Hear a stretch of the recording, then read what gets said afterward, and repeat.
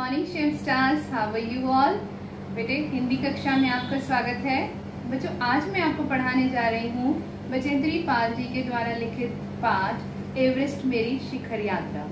बच्चे, ये तो हम सभी जानते हैं कि एवरेस्ट पर जाने वाली वो प्रथम भारतीय महिला थी। तो एवरेस्ट अभियान के अपने अनुभवों को उन्होंने किस प्रकार से हमारे साथ साझा किया है, चलिए इस पाठ में पढ़ते हैं, एवरेस्ट मेरी शिखर यात्रा। तो बच्चों, शुरू करते हैं बचेंद्री पाल जी के जीवन परिचय से। इनका जन्म उत्तरांचल के चमोली गाँव में 24 मई उन्नीस सौ चौवन को हुआ। इनके माता पिता गरीब थे तो बच्चे वो इनको आठवीं क्लास से आगे पढ़ाई लिखाई नहीं करा पा रहे थे। तब बचेंद्री पाल ने अपनी पढ़ाई लिखाई का खर्चा सिलाई कढ़ाई करके जुटाना शुरू किया। और दसवीं पास करने के बाद उनके प्रिंसिपल ने उनके पिता को उसके आगे की पढ़ाई के लिए सहमत किया और घर की ऐसी विषम परिस्थितियों के बावजूद बेटा, उन्होंने संस्कृत में एमए और फिर बीएड की शिक्षा भी हासिल की।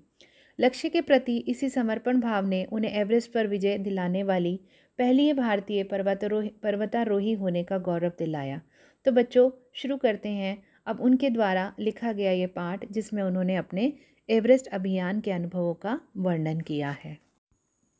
बेटे, इस पाठ में वो बताती हैं कि एवरेस्ट अभियान किस प्रकार से शुरू किया गया और कैसे पहली बार जब वो नामचे बाज़ार में पहुँची और उन्होंने वहाँ से एवरेस्ट की श्रेणियों को निहारा तो उसे देखकर वो हैरान हो गई और वहाँ के जो लोग हैं, नेपाली लोग, वो उसे सागर माथा कहते हैं और उनके साथ रहने के कारण, उनसे जुड़ाव के कारण लेखिका को ये सागर माथा नाम जो है, बहुत पसंद आया।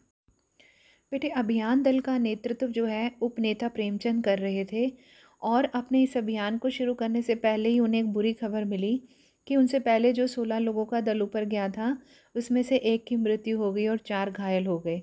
ये सुनकर सारे अभियान दल के सदस्य थोड़ा घबरा गए। तो कर्नल खुल्लर ने उन्हें कहा कि इस प्रकार के अभियान में जान का खतरा तो बना रहता है और हमें इससे नहीं घबराना है।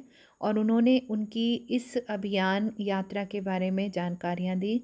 और उनको ये भी बताया कि एवरेस्ट अभियान में इस प्रकार के खतरों का सामना उन्हें करना पड़ सकता है। और उन्हें यह भी बताया कि हिमपात क्या होता है?